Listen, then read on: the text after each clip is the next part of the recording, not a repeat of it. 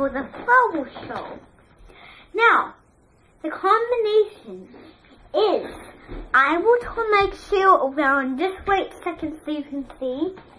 Um, today we are going to work on apples and knives. I bought some apple books, okay? This is one apple book. This is another wage apple book. Mommy? Okay. This is another wage apple book. This is another. And another. And the next thing I have to show you is just some paint pots and milkers. Okay? Now here's the thing. The book that we're going to read today is last time it didn't work, but this time I think it does work. And I'm going to put all these extra books away. Okay? And I'm going to go make each one call. Wait, no. And then we will work on our books.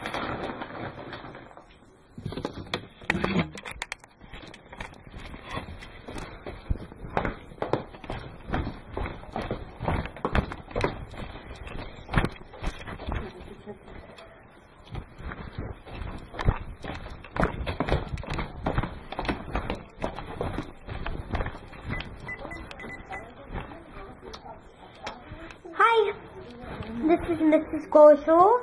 Oh, hi. Oh. Ooh. Well, well, well, maybe are you? Oh. Well, goodbye.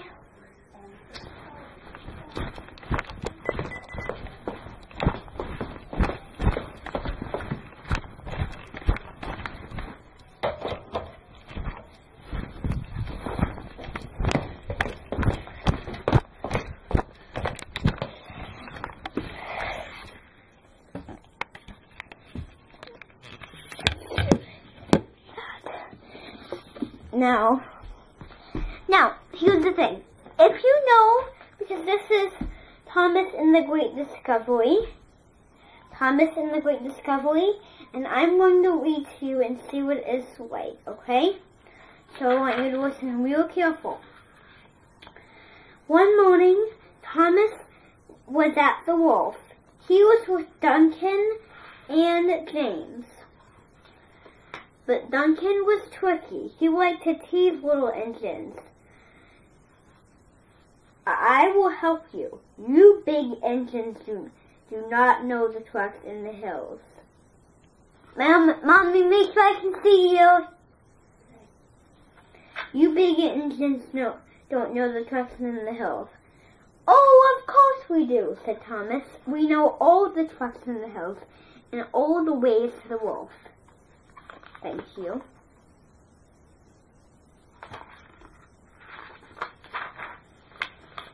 He's shaky.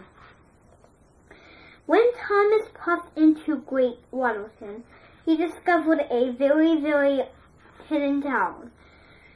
The, ta- the tower was fallen with bricks and coal on top of it instead bricks. The, and, and an ivy-covered station with grass all over it, and a fine window for keeping. But my boils, said Thomas. I have never, he had never seen an amazing sight before. Attentionally. The fashion forward said water pipes forward everybody for water. There were all tons of pipes. But Thomas was too excited to listen. The fashion forward told Thomas that he had made a wonderful discovery. Thomas was pleased.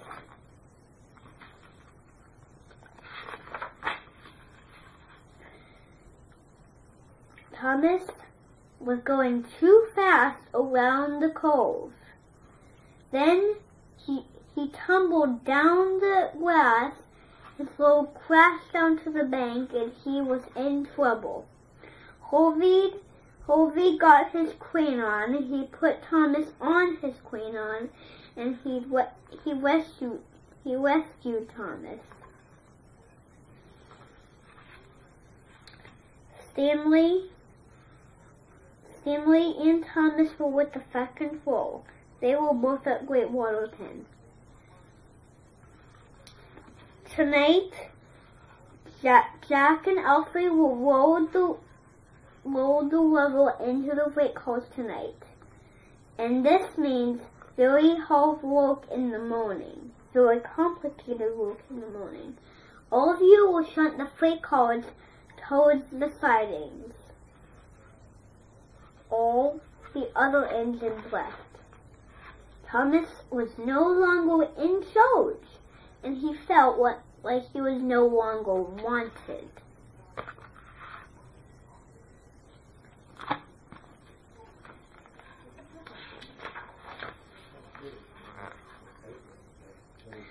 The next day, Thomas was shunting freight cars. And then he saw an old mine. Then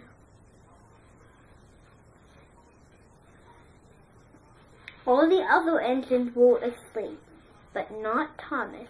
If I shunt the freight cars into the sidings, wagged Thomas, then all the trucks will be cleared in the morning. So he shunted them away into one big long siding. And then he saw one more truck. It rolled in front of a mine. I will fix that. So Thomas shot back, and when he did it, he bit the car too hard, and it disappeared into the mine. When it did, Thomas looked inside. And then he went inside. Thomas was happy he had a wet lamp but it was too dark. Suddenly, Thomas heard the car rolling disappear around the wind into the rain. I must chase that call, said Thomas.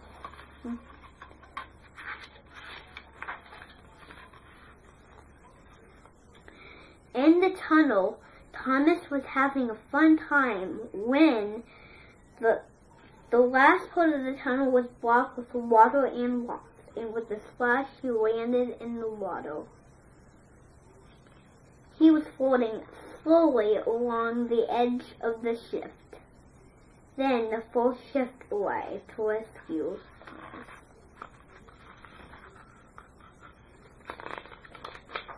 The next morning, James, Percy, Stanley, Toby, Emily, and all the other engines were, were were at Great Waterton Station. Where, where could Thomas be? said Stanley. The other engines thought very, very hard. They thanked their health, help, but they do not. They did not know where Thomas was. Second Tool said, "This is a very, very complicated state of emergency. I need all the engines that work for Thomas. The engines hooted their whistles.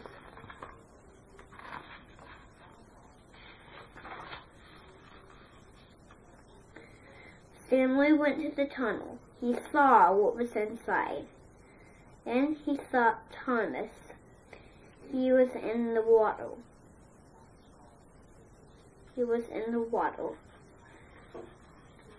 Then Stanley rescued Thomas.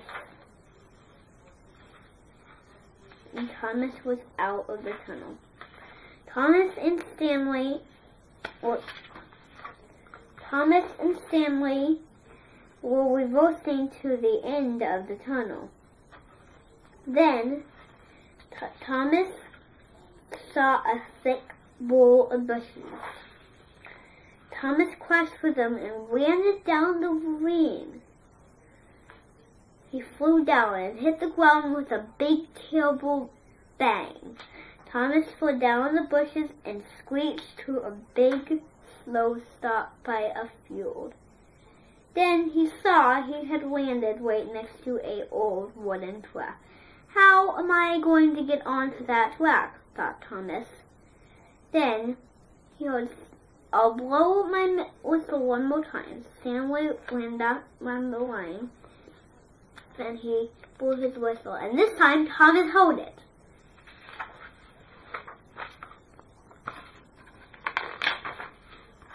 Then with one slow puff and one terrible, very, very terrible, terribly big puff, Thomas blew the longest and loudest whistle. And then Stanley was there. Thomas told Stanley all about his adventure in the line. Stanley was amazed. Did you, did you fall? I did. Well, good thing I rescued you.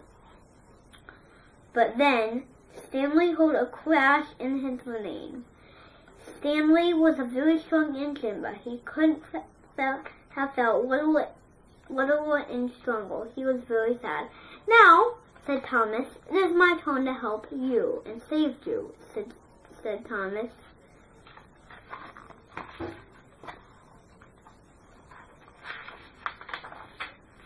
Then Thomas pulled Stanley all the way back to Great Waddleton. And Circle Day arrived, and it was my very by our very special engines. And they all had a big thank party for Thomas and Stanley. Then they all heard something very familiar in the sky. All, everyone looked up. And Golden, and the other engines. All the people at Great Waddleton stared and looked up. All of them in the town, but not in the stores in the town. Looked up, and they could see Jeremy. He was flying. The end. So what happened in this book? What do you think happened? Ooh, good job. Well, Next time we are going to learn letters. And that is the end of today. Okay? We're going to watch it.